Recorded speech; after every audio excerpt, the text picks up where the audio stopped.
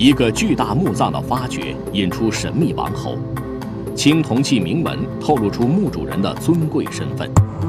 当沉寂了千年的编钟再次发出千古绝响时，人们惊喜地发现，消失了许久的一中双音失而复得。国之宝精彩奉献，消失的古国之金玉齐声。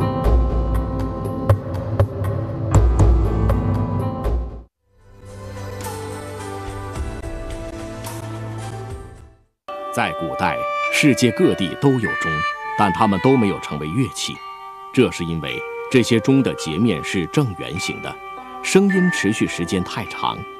唯独中国的编钟，它的截面像两片瓦合在一起，因为钟体扁圆，边角有棱，声音的衰减较快，所以能编列成组，作为旋律乐器使用。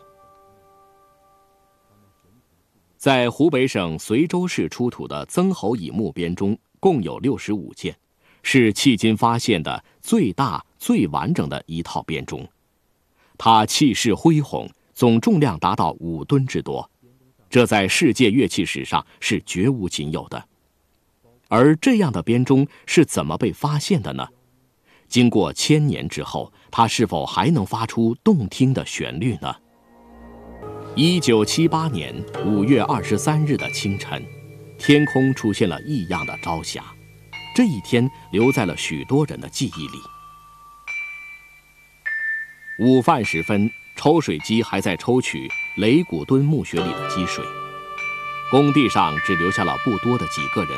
负责看守抽水机的冯光生，忽然看见了什么。最先呢，我是看到了那个水面呢。呃，下面呢有黑乎乎的三条东西，呃，三条东西那不知道什么东西。那么我就开始注意观察，那随着渐渐的水就往下落，这样就看到有三个小的架子。这张当时的照片上显示出一个模糊的影子，那究竟是什么？当积水终于排干，墓葬中室的景象吸引住了所有人的目光。六十五个青铜的编钟整齐地挂在木头的钟架上，仿佛刚刚被埋入地下。两千多年来，它一直稳稳地站立在原地。这是世界考古史上绝无仅有的一幕，也是雷古墩古墓出土的最瑰丽的珍宝。编钟沿钟室的西壁和南壁呈曲尺形立放，总长度超过十米。编钟分三层，每层的钟形态各不相同。最上面一层叫钮钟，中间及下一层叫永钟。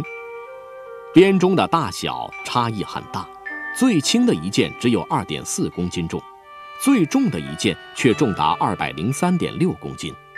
整套编钟的总重量有五吨。钟架上有配着宝剑的青铜武士。忠心耿耿地拖着挂钟的木梁，他们神情肃穆，体格健壮，仿佛王宫里的卫士。编钟上刻着三千多个漂亮的中国古文字，包括对编钟的编号、记事、标音以及乐律，称得上是古老的音乐教科书。这些文字也揭开了神秘墓主人的面貌。铭文指出，这套编钟是属于曾侯乙的。也就是说，古墓的主人叫乙，是诸侯国曾的国君，难怪他能拥有如此豪华的地下宫殿。在雷古敦古墓的编钟被发掘前，也出土过一些编钟，但多数已经不能发出声音。这套编钟的命运又将如何呢？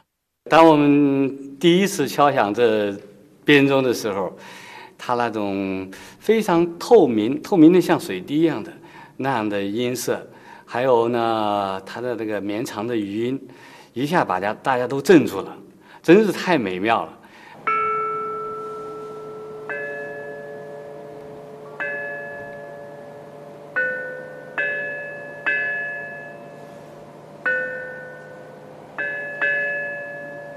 呃，随后呢，我们就一呃一鼓作气，就把其他的钟。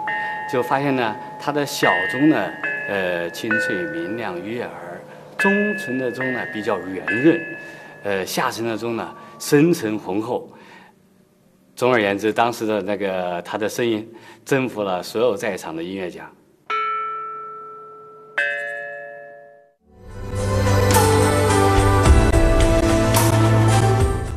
第一套编钟的复制前后一共花去七年时间，经过许多次尝试，最终达到了和原件乱真的程度。但是，祖先的有些秘密，我们费尽心思也未必能弄明白。编钟的音阶相当于现代国际上通用的 C 大调，音域跨越五个半八度，只比现代钢琴的高低音部各少一个八度。中心音域十二个半音齐全，从理论上说，这是一套可以奏出各种乐曲的乐器，能够表现很多复杂的音乐技巧。两千多年前，古中国人就能感悟出如此和谐的乐律，不能不让人惊叹。曾侯乙编钟因此获得了全世界的瞩目，成为中国古文物杰出的代表。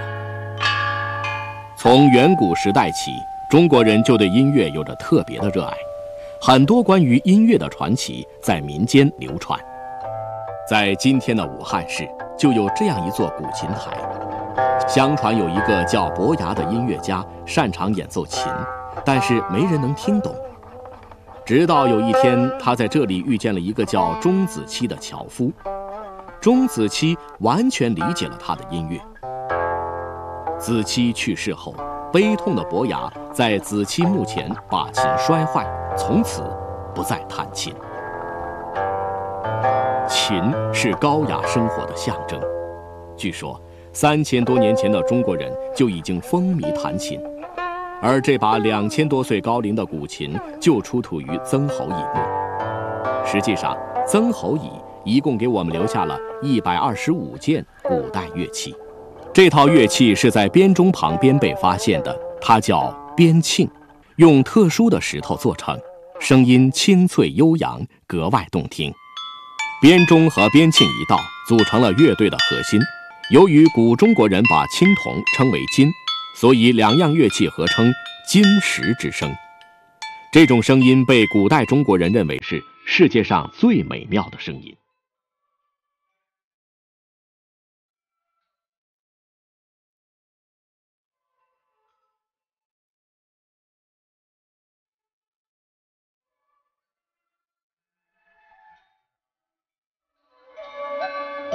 此之外，还有瑟、剑鼓、竹池、排箫等等乐器，组合起来就是一支完整的宫廷乐队。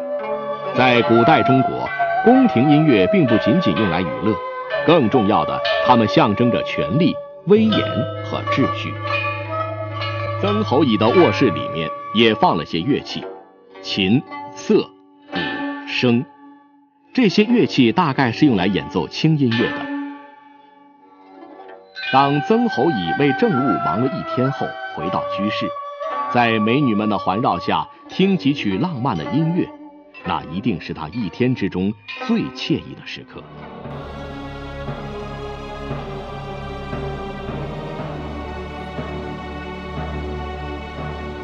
曾侯乙墓编钟的出土，使世界考古学界为之震惊，因为。在两千多年前就有如此精美的乐器，如此恢宏的乐队，在世界文化史上是极为罕见的。曾侯乙墓编钟的铸成，表明我国青铜铸造工艺的巨大成就，更表明了我国古代音律科学的发达程度。它是我国古代人民高度智慧的结晶，也是我们文明古国的历史辉煌。曾侯乙，一个完全被史学家遗忘的国君，没有人知道他的王国从何时开始，也没有人知道他有过怎样的功绩和苦恼。千年之后，人们唤醒沉睡已久的古老王国，试图揭秘历史深处的这一片空白。国之宝带您走进失落的王国。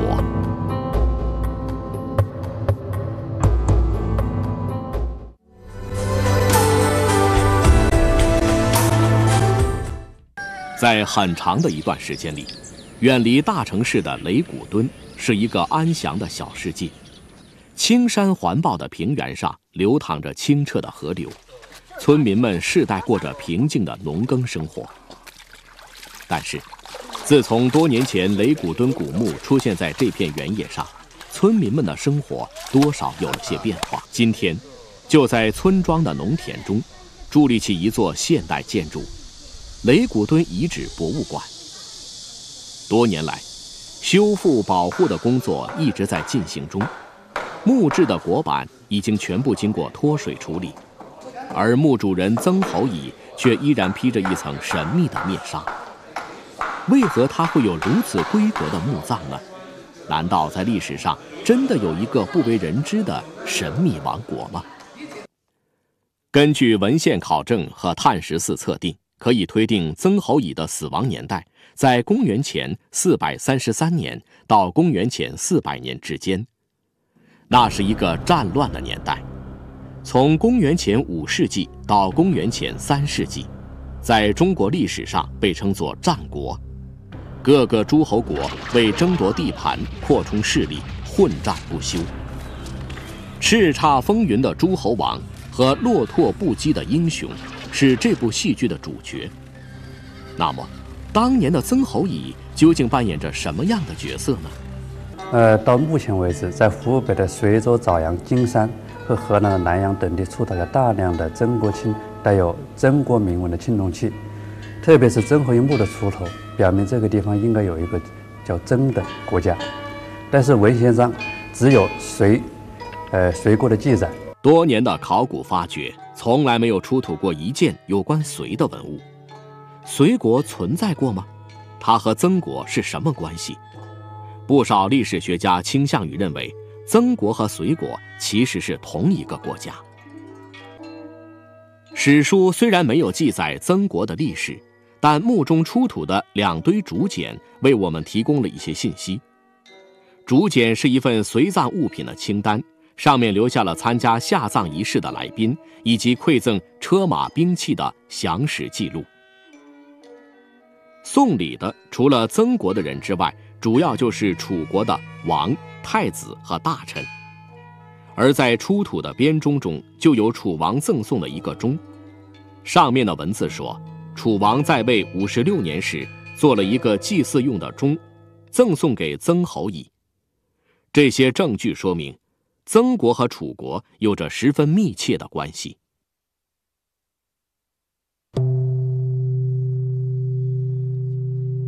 根据史书记载，楚国曾经成为各诸侯国的霸主，在相当长的时间里，它是中国南方最强大的诸侯国。在楚国长达八百年的历史当中，呃，曾经灭掉过六十多个小的诸侯国。曾国从春秋中期就开始沦为楚国的附庸国，但是一直到战国中期以后才被楚国灭掉。其中很重大的一个原因就是，曾国曾经救过楚王。呃，公元前五百零六年逐师录影的时候，楚昭王逃到曾国，那么曾国救驾有功，所以。曾国被楚国保存了下来。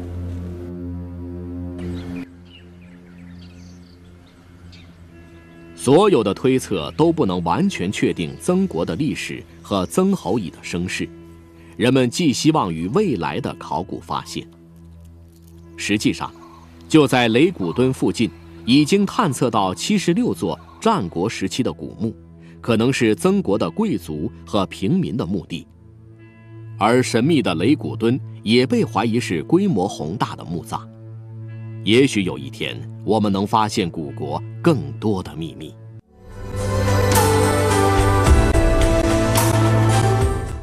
即使存在很多谜团，曾侯乙墓给人们带来的惊喜已经远远超出当初的预计。在这个巨大的古墓里，一共埋藏了一万五千多件随葬品，除了乐器、兵器和礼器外。还有许多生活用品，其中青铜器具就有十吨重。文物中有九件被评定为国宝级文物，许多精品在湖北省博物馆中展出。漆器是古代中国人的发明，他们用木块或木板做成刑具，然后在外面涂漆。漆器不仅轻便实用，而且色彩艳丽，至今仍是很受欢迎的工艺品。两千多年前，工匠们就在漆器上体现了精妙的心思。这套漆器是野餐时的食具，里面能装下盒子、罐子和勺等用品。出土时，盒子里还残存着果核。这件物品其实是一种乐器剑骨的底座。出土时，剑骨已经朽烂，这个圆孔就是当年用来固定剑骨的。你整体上看，它就像一一团火一样的，在燃烧的那种感觉。呃，你走近看呢，是它就是很多的那些龙头龙尾向四周散发，啊，那么我在我看来，他觉得，我认为它是一个很具有独立性的一个雕塑艺术品。尽管它是建骨，是一个骨的基座，但我看到它是一个很完美的一个雕塑作品。这件青铜尊盘是由一尊一盘组成，尊用来盛酒，盘则是盛水或冰的。尊和盘通身装饰着纤细繁复的立体纹路，由无数条游动的小龙蛇错综的穿插结构而成。专家们仔细研究后得出结论。这些镂空的装饰是中国现已出土的青铜器中最复杂的物品，它们是用失蜡法铸造的。所谓失蜡法呢，就是用蜡模来做模具。那么做成以后呢，外边敷敷以的耐火材料，啊，像石英砂这样的耐火材料敷在上头，然后让它阴干，再把这个模具进行焙烧。蜡就化出来了，化掉了。那么外壁就接中一个壳子，我们叫它阴膜。用这个壳子呢来浇铸青铜器，最后就成为铸件。失蜡法至今仍旧在精密铸造领域使用。虽然今天的技术比两千年前有了长足的进步，但在手工的繁复和精巧方面，后人却未必能赶上祖先。要复制出尊盘那样巧夺天工的作品，对今人来说也有着相当的难度。编钟表现出来的青铜铸造技艺也让人们惊叹。通过激光等先进技术，研究人员发现，所有编钟都是用复合陶范铸成的。以最复杂的中层永钟为例，整个铸型由上百块陶范和泥芯组成，一次浇铸成型。在曾侯乙的卧室里，发现了许多这样的东西，看起来很像弹簧，但是检测的结果表明，这些金属质地很软，不具有弹性。金属圈被规则地缠绕在原木柱上，又很像现代的电线圈。它们究竟有什么用途，至今仍旧是个谜。毫无疑问，曾侯乙是那个时代的英雄，却不幸被中国古代的史学家完全遗忘。没有人知道他的王国从什么时候开始，他有过什么样的功绩和苦恼，也没有人知道他的子孙去往哪里，他的王国又在什么时候消失。然而，他最值得我们感激的是，因为对生命和音乐的无限眷恋，他为我们留下了无数珍奇的瑰宝，以及回响不绝的远古的乐声。众多的石像、山峰的高大形体，烘托出它雄伟壮观的气势；精致的石棺、多彩的壁画，再现了昔日的梦幻岁月。中国历史上唯一的女皇帝长眠于此，无穷的悬念就藏在她隐秘地宫的深处。国之宝将带您一起去探索沉默的女皇。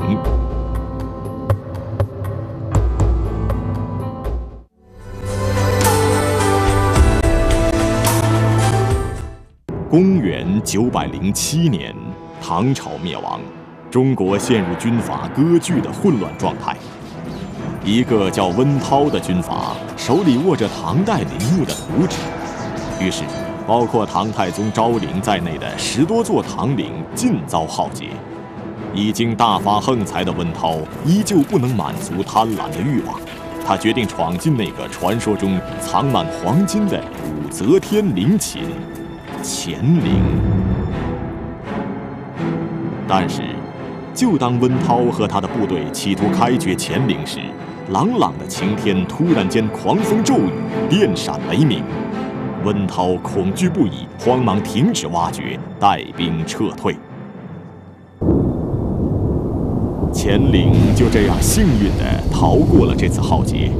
而更让人感到难以置信的是，在往后的一千多年里，很多盗墓贼企图盗挖乾陵，但是都没有成功。究竟是什么原因，在始终庇护着那位女皇帝的地下世界呢？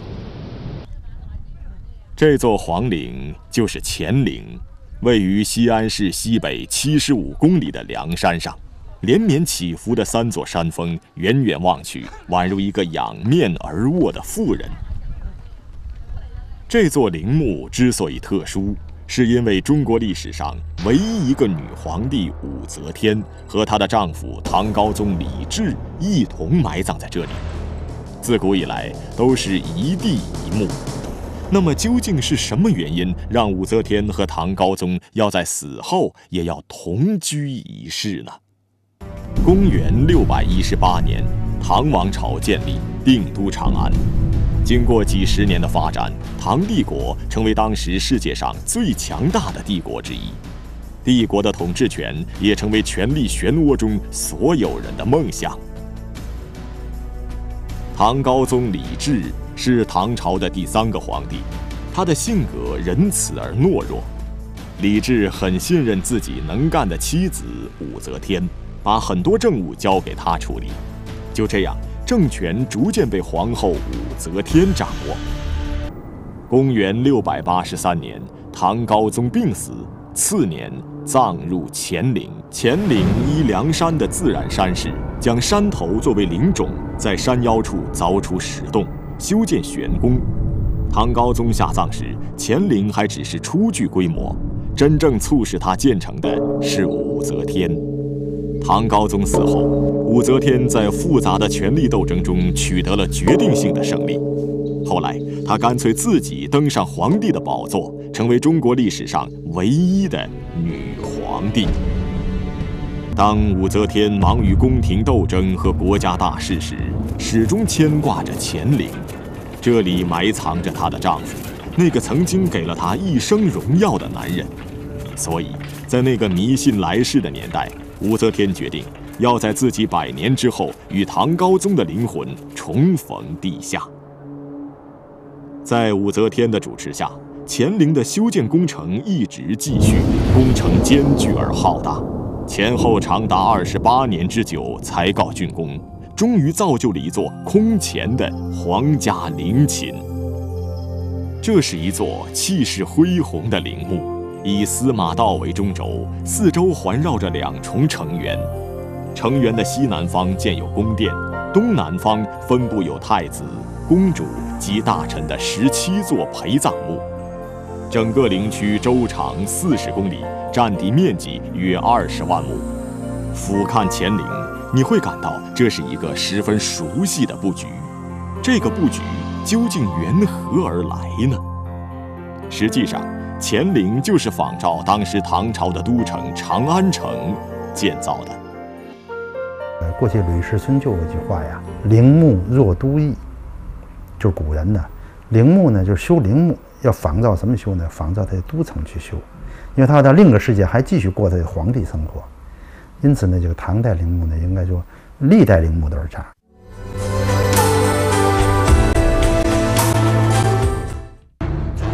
公元七世纪的长安城是当时世界上最豪华的大都市，设计周详，布局井然，一条南北中轴线贯穿全城，东西左右均衡对称。乾陵就是长安城的微缩景观。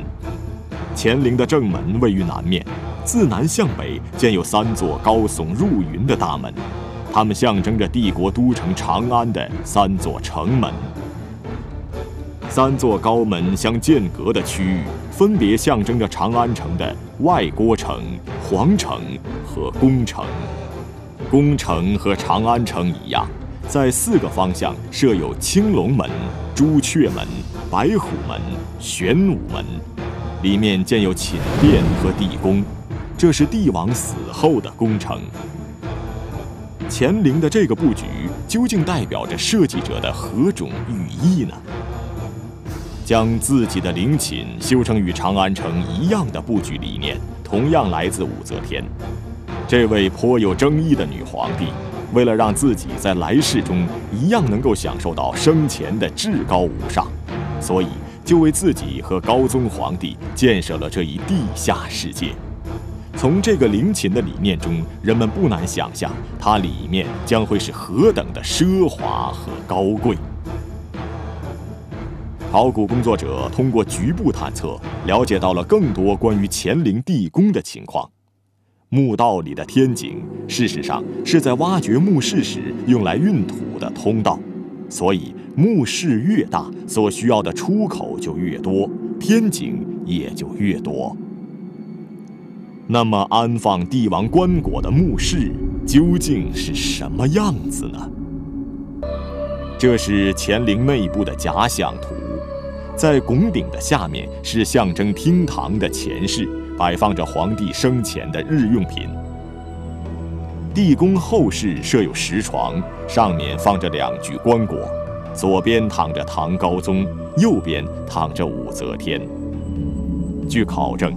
乾陵地宫的空间约为五千立方米，按其四分之一的比例来计算陪葬品，那么陪葬品的体积也在一千二百立方米左右，文物则最少有八百吨。这些文物会是什么样的呢？在陕西曾经发掘过一座唐代的皇家寺院法门寺的地宫，出土了大量的唐朝皇室物品。特别是其中的金银器华美典雅，令人眼花缭乱。法门寺地宫中还出土了一件武则天的绣裙，这是迄今为止发现的唯一一件武则天的遗物。而在神秘的乾陵地宫中，一定保存着更多炫目的皇家器物和武则天的遗物，这让人们对乾陵地宫产生了巨大的探寻热情。是否发掘乾陵一度成为考古学界争论的一大热点，但是，在现有的技术条件下，贸然发掘乾陵，能不能对地下的文物有效地实行保护，还是一个疑问。对科学技术而言，我们不知道的东西太多，我们所能做的太少，不能做的太多。要有这么个基本科学估计，我觉得你就应该不要挖它。学者们相信。这座乾陵所蕴藏的秘密，会与武则天传奇的命运一样惊世骇俗。至于将来还有没有可能目睹武则天的真容，还有多少出人意料的发现，这些悬念将长期困扰着世人。谜底的真正揭开，尚待来日。一件罕见的金器拉开了一个远古墓室的大门。造型诡异的青铜器，长着异族脸孔的面具，用怎样独特的方式冲击着现代文明？是谁制造了这些珍宝？又为什么在历史上昙花一现？国之宝呈现月亮湾里的瑰丽宝藏。在四川广汉市一个叫月亮湾的小村庄里，耸立着三个黄土堆。像三颗散落人间的星星，当地人叫它为“三星堆”。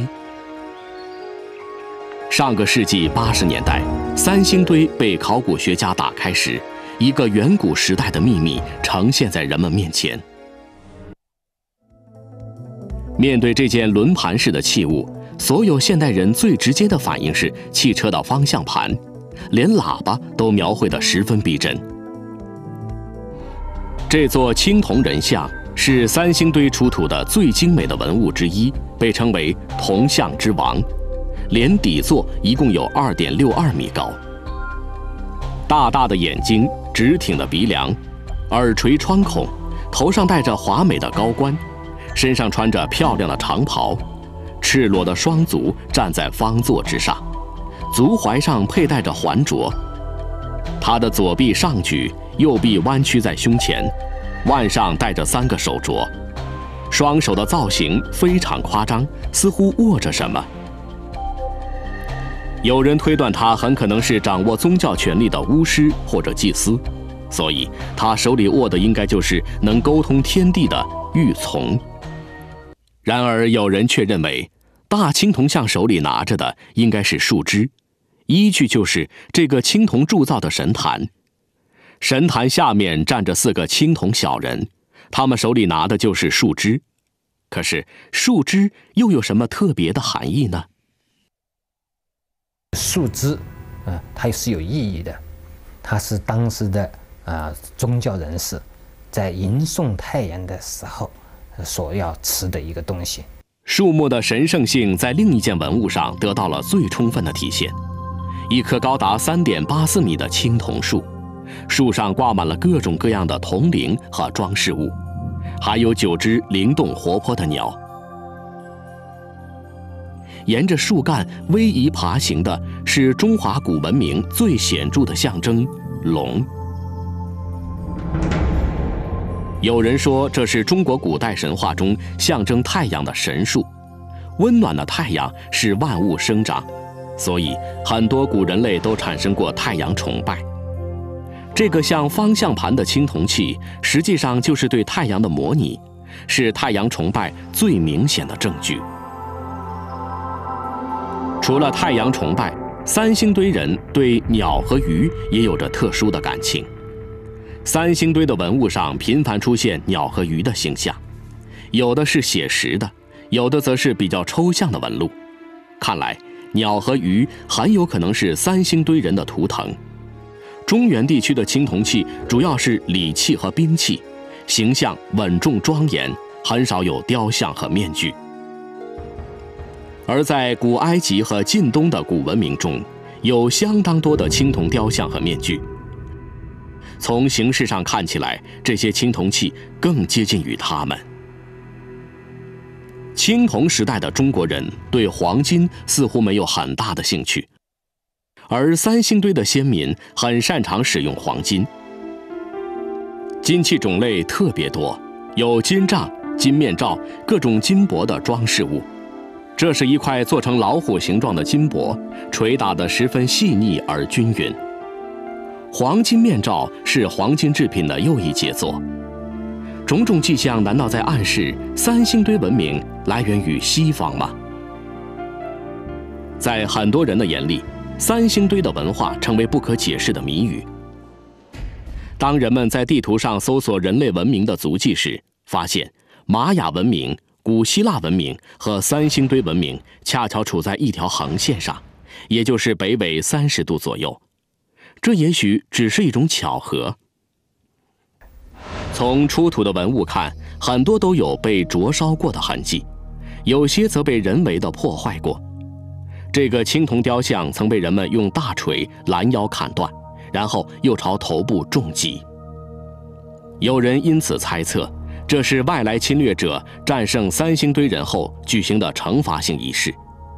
但是，这两个坑挖得很整齐，而且都朝着古城的方向，看起来不像是敌人所为，而应该是本族人举行的某种特殊仪式。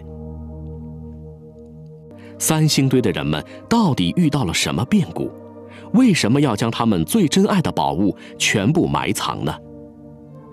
在十多年的时间里，这是最困扰考古学家的一个难题。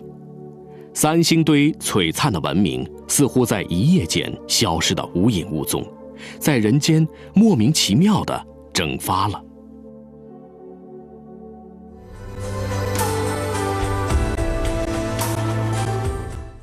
直到三星堆考古发掘之后的第十五年，在二零零一年的春天，考古学家们终于看到了希望，在距离三星堆四十多公里、一个叫金沙的地方，发现了一座庞大的古城遗址。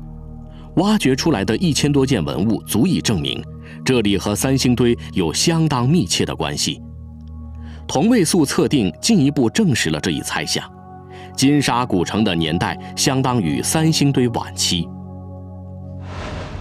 这个十九点六厘米高的青铜小立人是金沙最具有代表性的青铜器，它很像三星堆的青铜大立人，同样的长衣，同样的姿态，空空的手中似乎握着什么东西。仅仅这两个青铜立人，就足以说明三星堆文明和金沙文明之间的深厚渊源。这是在金沙出土的一条金带，上面的纹饰和三星堆出土的金杖上面的部分纹饰居然一模一样，都是由鸟、鱼和剑组成的图案。但是，仔细看这些图案，还是有一些区别。金沙的金带上没有人脸，只有圆圈。三星堆金杖上的鱼和鸟都是两个一组，而在金沙的金带上，每组图案中只有一条鱼和一只鸟。也就是说，金沙的金带只使用了三星堆金杖的一半图案。这只是一种偶然呢，还是隐含了什么玄机？两个极其相似的青铜立人，其实也有些不同。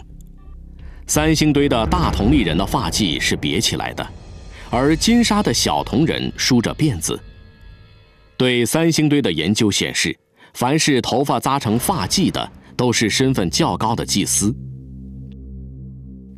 人们推测，梳辫子的可能代表着世俗权力的掌控者。这个不起眼的差别，暗示了一个重大的历史信息。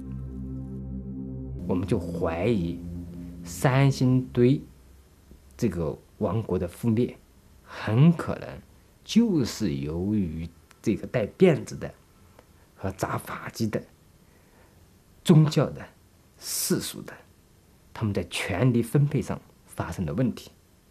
获得权力最大的一部分人，可能就是金沙村啊这个遗址的主人。他们从带发髻的那些人那里面。夺得了宗教权利，呃，并且在三星堆遗址的南面一点建立了一个新的城邑。金带图案的问题也因此得到了一种解释：由于来到金沙的人只是三星堆居民中的一个种族，所以他们只用了图案的一半。三星堆仍旧有太多无法解释的谜团。不过，随着越来越多的考古成绩，人们变得更加乐观了。也许在未来的某个时刻，我们能最终拼接出清晰的图案，看到一个古老文明真实的形象。